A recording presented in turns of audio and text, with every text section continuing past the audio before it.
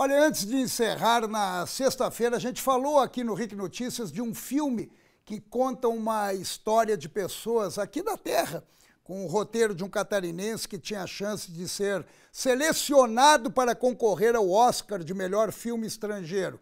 E não é que a gente é pé quente, ele foi indicado. O filme Pequeno Segredo, de David Schurman, derrubou inclusive o badalado Aquários com Sônia Braga o Pequeno Segredo é baseado numa história real. Quase 80% das cenas foram rodadas em Florianópolis. A estreia deve acontecer ainda este mês.